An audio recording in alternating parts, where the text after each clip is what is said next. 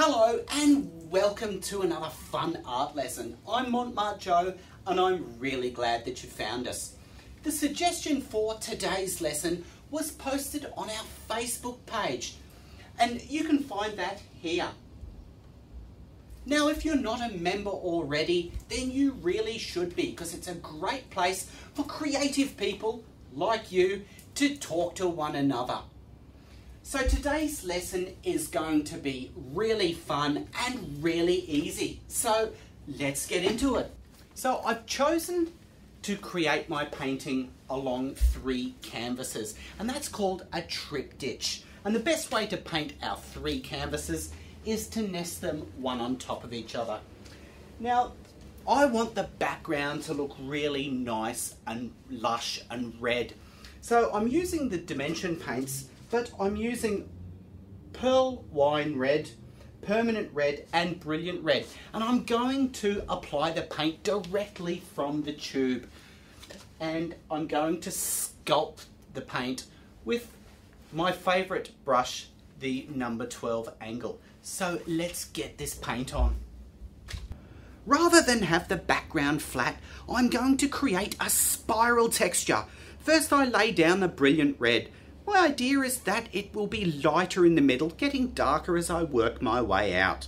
In between the brilliant red, I lay in some of the darker permanent red and the even darker pearl wine red. This is mainly on the edges. It doesn't look like there is much difference between these colours, but it's the subtle change that looks effective when I blend them all together. The trick here is not to overblend the colours and keep to a circular spiral pattern. I don't want the coat to be too smooth. I want to create interest. Now, when you do this, just be careful because this paint gets absolutely everywhere. There's someone you know. Oh.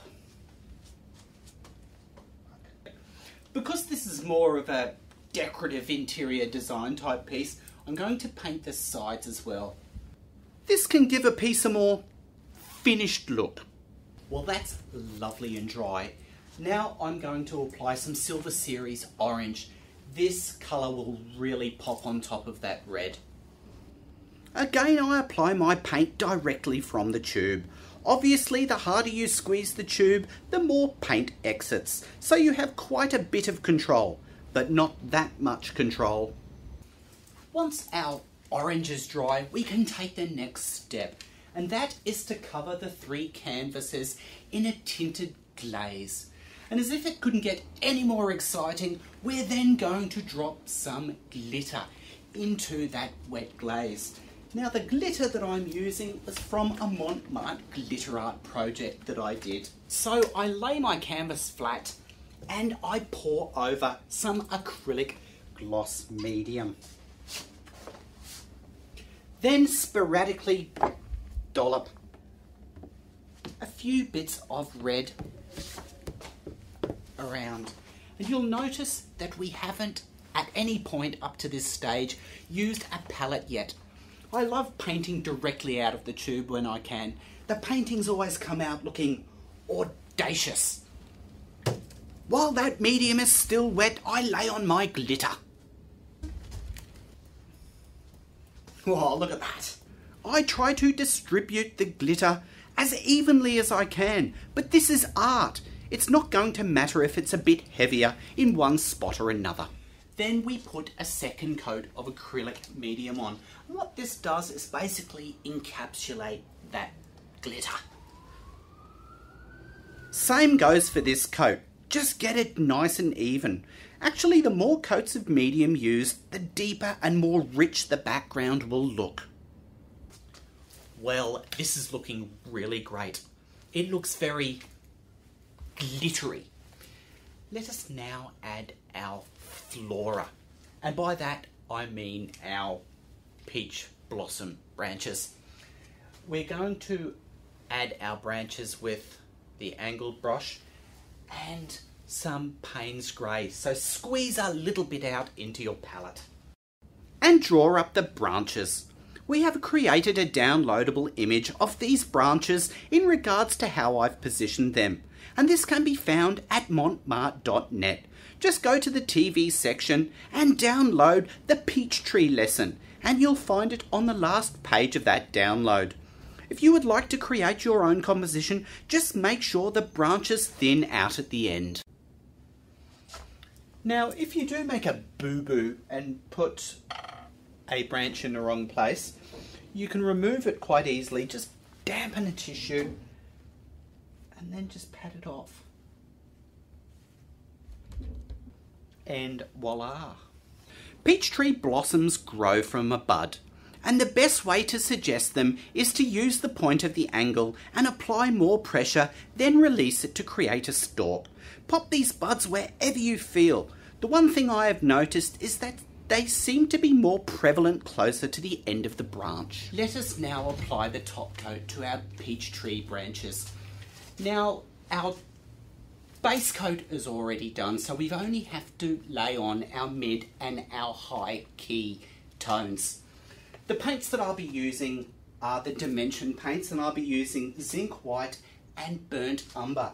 And I'll be applying it with my number six Taklon flat. So let's get this paint on. So I create a highlight tone from white and umber. Now I lay in some straight umber into the middle of that branch and buds. Once the mid-tone is in, I bring in a little Payne's Grey in from the bottom. As I do this, I bear in mind the contours of the branch and create my strokes accordingly. Now into the top of the branch, I lay in my highlight tone we can now create our blossoms and this will be the real icing on the cake. Our blossom colours will be created from cream, permanent red and medium yellow.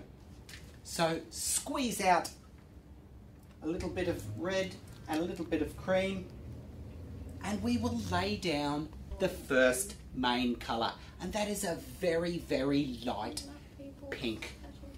Now I shall be applying the paint with my favourite brush, the angle. And as we do this, we must bear in mind that peach blossom flowers contain five petals. And peach trees blossom at different stages, so put some buds in. Well, that looks pretty good. I don't think I need to go any further. I don't want to overcook it. But I think what it does need is a couple of blossoms that have been blown off. So we're going to put some around here, maybe one here, here, and a couple there. This will add a little bit of drama, I think. Well, as much drama as a peach tree painting could have anyway. If you look at a peach blossom, it is a little bit darker near the base of the flower. So we're just going to squeeze out a little bit of permanent red and darken that in.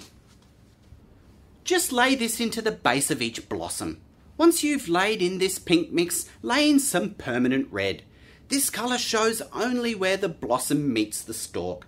Next I lay in some pure white into the top of each petal to suggest a highlight and finally I add some medium yellow into the centre of each blossom. Well, I really hope you gained something from that. And if you're not already there now, then jump on our website at montmarte.net. Thanks again for joining us, and remember, keep on painting.